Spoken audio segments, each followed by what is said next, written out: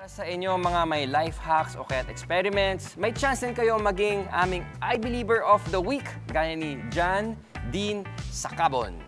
Yes! So, ang gagawin ko po ngayon ay DIY poster color paint. First po, ay kailangan natin ng chalk. Lalagay po natin dito sa empty bottle of paint. Tapos, lalagyan po natin ng glue. Inimix lang po siya natin ng brush.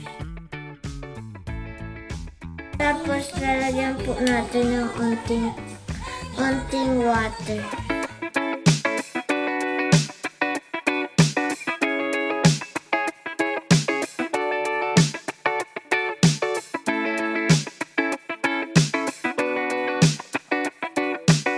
Ito po yung aking ginawang DIY poster color gamit ang color chalk. So, ito po yung napint ko.